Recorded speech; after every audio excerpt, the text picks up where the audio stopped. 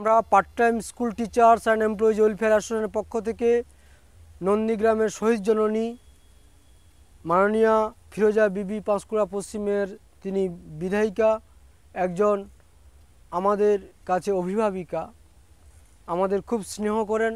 এ রাজ্যের part time শিক্ষকদের বছর স্বীকৃতি দিক রাজ্য সরকার তিনি মনে প্রাণে চান এবং আমরা অতীতে ওনার সঙ্গে সাক্ষাৎ করেছি, আজকেও আমরা সাক্ষাৎ করলাম।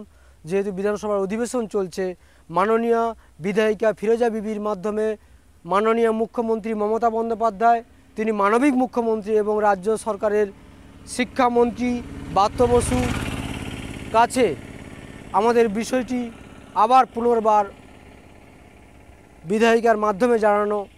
আমরা দীর্ঘদিন ধরে বঞ্চিত, আপনারা জানেন, এই পার্ট টাইম শিক্ষকরা, স্থায়ী শিক্ষকের মতো সমস্ত কাজ করেন। সেই সকাল সাড়ে দশটা থেকে বিকেল চারটা, সাড়ে চারটা পর্যন্ত শিক্ষাকর্মীরাও যাবতীয় কাজ করেন।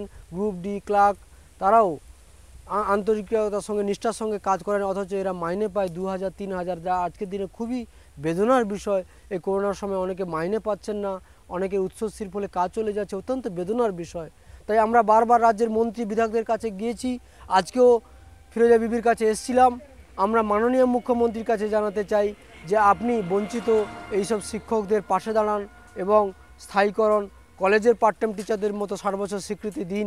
আমরা চিরকৃতজ্ঞ থাকব আপনার কাছে এবং আমরা চাইছি মিনিমাম একটা মাইনে মিনিমাম একটা আমরা যাতে ষাট বছর কাজের স্বীকৃতিটা পাই।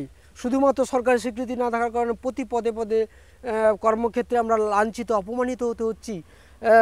বিদ্যালয় ছুটির পর হয়তো প্রধান শিক্ষক বা প্রধান শিক্ষিকা তাদের প্রধান শিক্ষকের রুমে ডেকে কোনো শিক্ষক বা শিক্ষিকাকে বলবেন যারা M A MSc M Com doctorate PhD করা বিএড করা, তাদেরকে সেই সম্মানিত, সম্মানীয় শিক্ষক, শিক্ষিকাদের ডেকে বলবেন যে আগামীকাল থেকে বা এই মাস থেকে বা পরের মাস থেকে আপনাকে আর আসতে হবে না। কতটা বেদনার বিষয়, কতটা আপনারা ভাবুন এরা যে সকল বুদ্ধিজীবী, শিক্ষাবিদ সবার কাছে অনুরোধ যে এই আন্দোলনের পাশে দাঁড়ান এবং মাননীয় মুখ্যমন্ত্রীর কাছে আমরা সরকারের পক্ষে আছি সবসময়, সরকারের কাজের নানান মানবিক সরকারের পদক্ষেপে আমরা সবসময় সমর্থন করি এবং আমাদের সেই সুযোগটা দিন, আমরা রাজ্যের বিদ্যালয় শিক্ষা ব্যবস্থাকে বাঁচাতে চাই। উচ্চশির ফলে বহু জায়গায় শূন্যপদ সেই সব জায়গায় আমরা নিষ্ঠা, আন্তরিকতার সঙ্গে পাঁচ বছর, দশ বছর, পনেরো বছর, কুড়ি বছর কাজ করছি।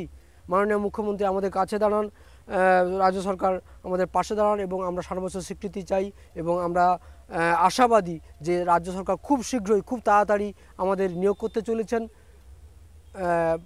college part